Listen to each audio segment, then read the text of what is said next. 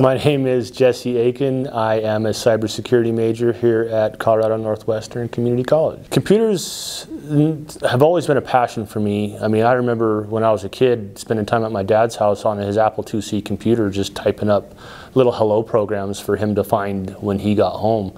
Uh, but as far as pursuing it as a career, it's never really been an option for us here because we didn't have the resources available until this program came up, which I heard about through a, an ad on the radio, I believe. And then that next day, I came up here and talked to the recruiter.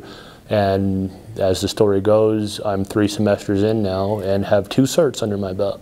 If you're interested in, in computers at all, this is a great field to be in. And a lot of it can be common sense, but when, I mean, they always tell us on, on email scams, when in doubt, throw it out. So, but educating yourself on good security practices, if nothing else, is a great idea.